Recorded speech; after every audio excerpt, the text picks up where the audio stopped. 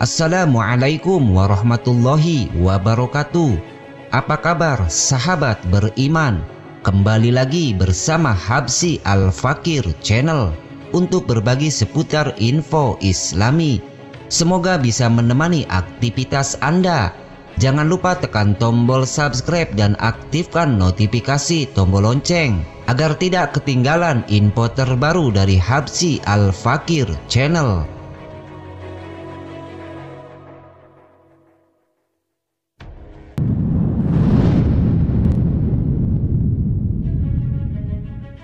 Sebelum Islam masuk ke Spanyol, bangsa Jerman telah memasuki semenanjung Iberia sekitar abad kelima Masehi. Seorang raja Ostrogoth mendirikan sebuah istana di Toledo sekitar tahun 513 Masehi. Kemudian pada 569 Masehi, seorang raja Visigoth menjadikan Toledo sebagai ibu kota kerajaan Visigoth Spanyol. Pada 689 Masehi, Raja Recorado menjadikan Katolik sebagai agama resmi di Spanyol. Pada awal abad ke-8 Masehi, para pendatang mulai berdatangan ke benua Eropa, termasuk Spanyol.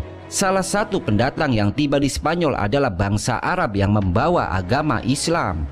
Sebelum menaklukkan Spanyol, pasukan Islam terlebih dahulu menguasai wilayah Afrika Utara dan menjadikannya salah satu daerah kekuasaan dinasti Umayyah. Penguasaan Afrika Utara terjadi pada masa pemerintahan Khalifah Abdul Malik. Menurut beberapa ahli, tujuan umat Islam menguasai Afrika Utara adalah sebagai jalan untuk melakukan ekspansi lebih besar ke wilayah Eropa. Karena dari wilayah Afrika, ekspansi ke Spanyol lebih mudah dilakukan. Ekspansi yang dilakukan pasukan Islam di wilayah Spanyol terjadi pada masa Khalifah Al-Walid. Awalnya Musa bin Nusyair, gubernur Afrika Utara, mengutus Tarik bin Ziyad untuk memimpin pasukan menuju Eropa. Ia membawai kurang lebih 7.000 pasukan yang sebagian besar terdiri dari orang-orang barbar. Pada 711 Masehi, Torik bin Ziyad berlayar melalui Laut Tengah dan berhasil mendarat di sebuah daerah yang kemudian diberi nama Gibraltar atau Jabal Torik. Ketika penguasa Spanyol mengetahui bahwa pasukan Islam telah memasuki wilayahnya, ia memerintahkan pasukannya untuk menghadang Torik dan pasukannya. Sebanyak 25.000 pasukan Spanyol diberangkatkan untuk menghadapi pasukan Islam. Mengetahui pasukan musuh lebih banyak, Torik meminta bantuan pasukan kepada Musa bin Nusyair. Akhirnya dikirimlah 12.000 tentara tambahan ke wilayah Spanyol. Pada 18 Juli 711, pasukan Spanyol dan pasukan Umayyah bertemu di wilayah Sungai Barbate.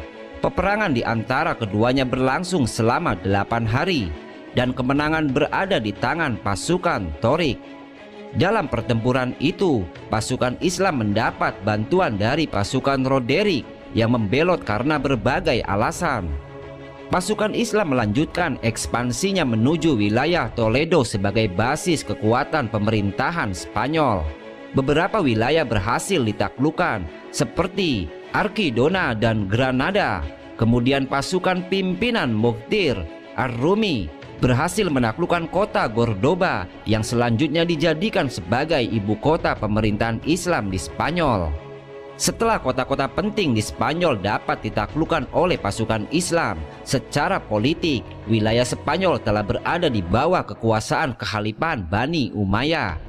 Dalam menaklukkan ekspansi di wilayah Spanyol, umat Islam dapat dengan mudah meraih kemenangan, sehingga dalam waktu yang cukup singkat dapat menguasai Spanyol ada beberapa faktor yang membuat proses penaklukan Spanyol oleh Islam berjalan mudah. Salah satunya dukungan dari penganut agama lain seperti Yahudi yang merasa tertindas oleh kekuasaan Visigoth.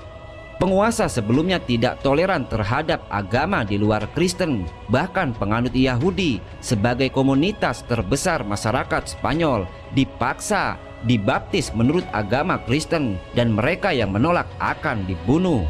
Dengan munculnya Islam, mereka merasa terbebas dari peraturan-peraturan sebelumnya, sehingga melakukan pemberontakan membantu melengsarkan pemerintah Visigoth. Faktor lainnya adalah karena pasukan Spanyol tidak memiliki semangat dalam berperang. Selain itu, terjadi perselisihan di dalam pemerintahan Spanyol. Wallahu a'lam.